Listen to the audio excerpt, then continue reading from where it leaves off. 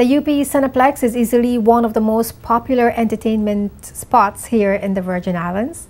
Recent renovations to the Cineplex and the release of the blockbuster movie The Perfect Guy showed a spike in moviegoers. Sophie B went to the movies at UP's and took the JTV Hot Trends camera crew with her, where they also checked out the cocktail event to mark the movie premiere.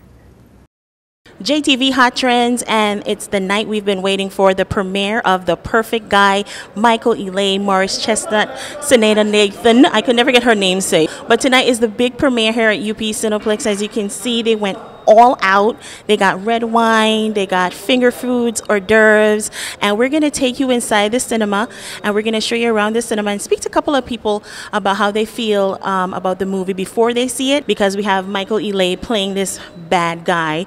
We know him to be a nice guy with his fine self. So we're going to get people's views on the film. Now we're here up in the private, this is called the private box. This is what it's called, ladies? So why you go, girls decided to come out and, and make it a girls' night to see this movie? Because we just didn't want to miss those eyes. Oh, so y'all hear from Michael Ealy. That's right. All right, so now he's playing the bad guy. How you feel about that? How y'all feeling about that? You don't mind?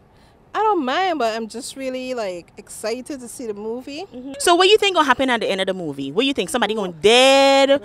What what you think gonna happen? She gonna get back with Morris Chestnut? I feel she would get back with Morris in the end.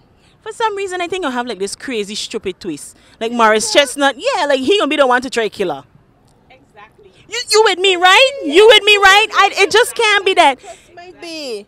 It might be. Yeah. All right. Well, it's only one way to find out. We're gonna get a movie started right now. I'm so excited. All right. Well, I hope you ladies enjoy the movie. All right. So you think we have that type of relationship uh, here in the BVI in the Caribbean?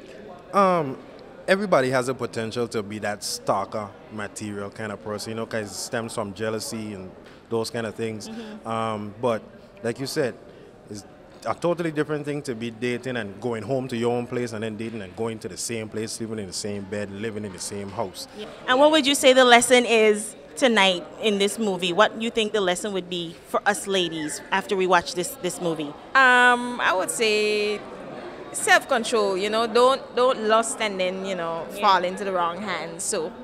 I would say, you know, have some self control and self respect. Well, ladies and gentlemen, it's definitely a wrap here tonight at the premiere of The Perfect Guy. I saw the movie. Oh my God. I mean, absolute suspense, horror, had you on the edge of your seat. It was a fantastic movie.